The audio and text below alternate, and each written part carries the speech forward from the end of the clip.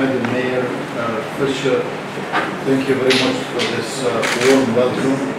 Ticaret ve işbirliği İzmir Ticaret Odası'yla sağlanmasını çok kıymetli buluyorum ama ayrıca e, atalarımın memleketi olan Priştina ve Prizren'le e, belediye olarak işbirliği yapacak kanalları oluşturmak ve e, hem ticaret hem kardeş belediye e, protokolünü imzalamak benim dönemimde benim için onur olacak.